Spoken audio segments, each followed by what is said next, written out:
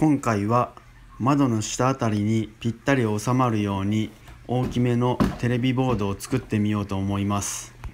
はじめはテレビボードの膜になる木材をカットしました。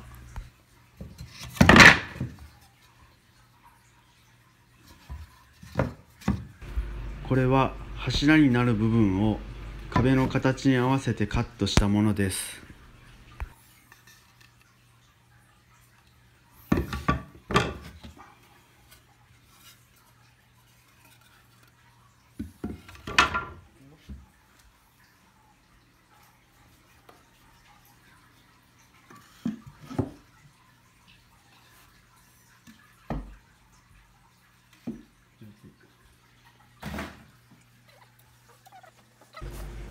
次に壁兼柱になる部分を木工用ボンドで貼り付けます。貼り付けたら旗金で乾くまで固定します。ボンドが乾いたら水性のペンキで塗装します。木目が出るようにしたいので水で薄めながら塗装していきます。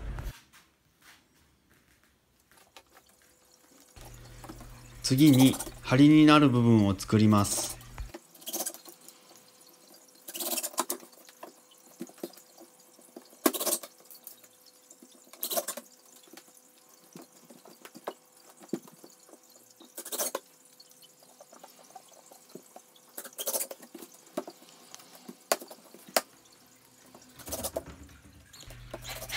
梁と柱をビスで固定します。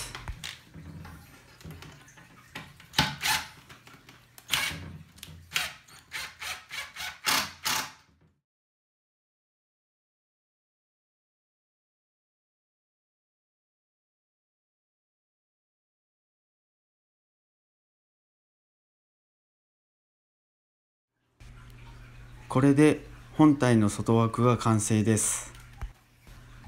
本体の隣にオーブンとレンジを置く場所を作ります。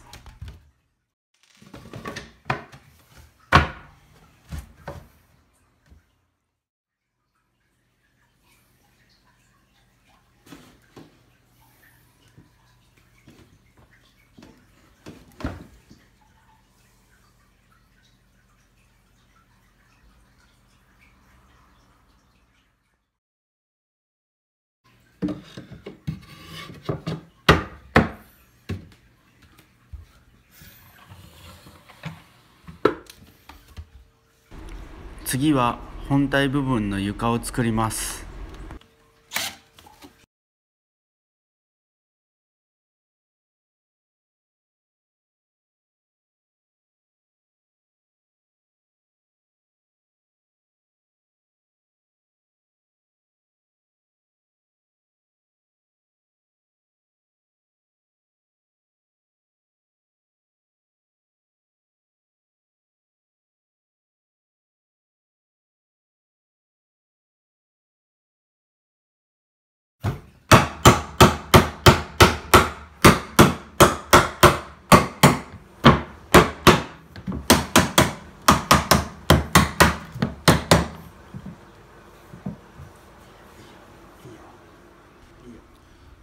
これで本体部分の床が完成です。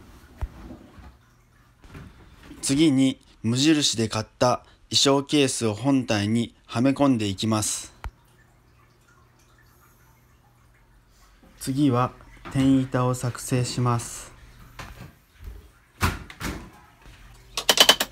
窓枠の下にぴったりはまるように天板を金槌で叩き込みます。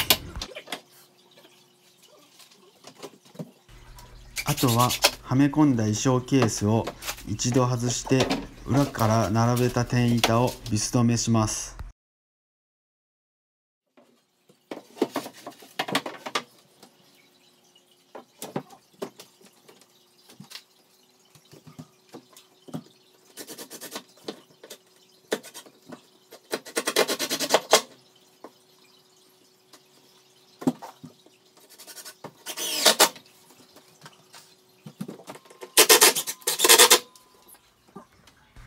これで天板の完成です。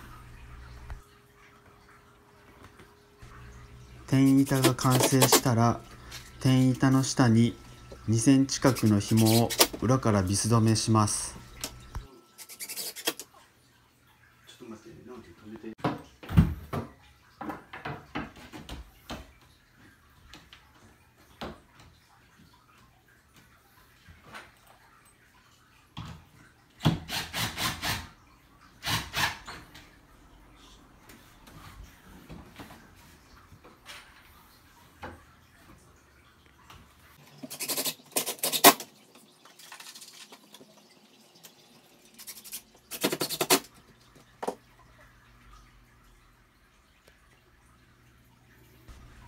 次は衣装ケースの扉に合わせて加工した木材をビス止めします。